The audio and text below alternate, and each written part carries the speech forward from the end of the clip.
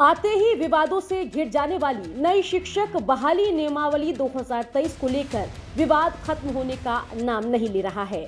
शिक्षक नियमावली 2023 को चुनौती दी गई है। शिक्षक नियमावली 2023 को पटना हाईकोर्ट में चुनौती दी गई है। 2006 के नियम को खत्म किए बिना नया नियम लाया गया है। बता दें कि 2006 में जिस एक्ट के तहत त्रिस्तरीय पंचायत राज व्यवस्था को शिक्षक नियोजन का अधिकार दिया गया था, उसको बिना खत्म किए नई नियमावली लाई गई।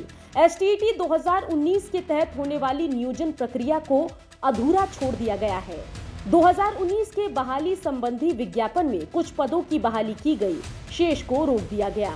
नई नियमावली को संवैधानिक पहलू, समानता के अधिकार और मानवाधिकार की दृष्टि से चुनौती दी गई है।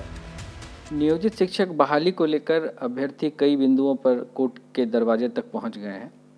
उनका यह कहना है कि त्रिस्तरीय पंचायत व्यवस्था के तहत जो बहाली की प्रक्रिया शुरू की गई थी और उसके तहत जो रूल्स बनाए गए थे, वो आज भी एग्जिस्ट कर रहे हैं। तो फिर किस आधार पर आर्टिकल थ्री ज़ीरो नाइन के तहत नई नियमावली का निर्माण कर दिया गया है? और इसको ये नियमानुकूल नहीं मानते।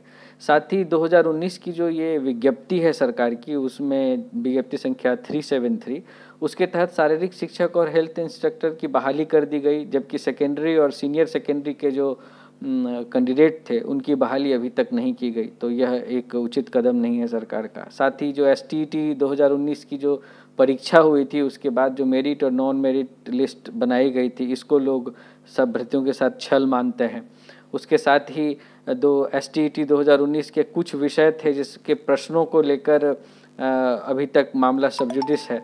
तो उससे पहले इस प्रकार की नियमावली के तहत नई नियुक्ति करना भी सही नहीं समझ रहे लोग।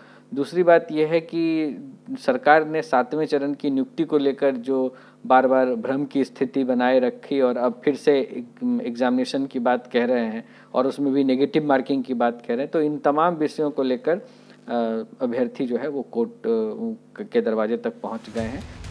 ये तो बात हुई पटना हाई कोर्ट की, लेकिन बता दें कि पूरा मामला दिल्ली के सुप्रीम कोर्ट के दरवाजे पर भी पहुँचा हुआ है। शिक्षक अभ्यर्थी शिक्षक बहाली नियमावली 2023 को तुगलकी फरमान बताकर सुप्रीम कोर्ट भी पहुँच गए हैं।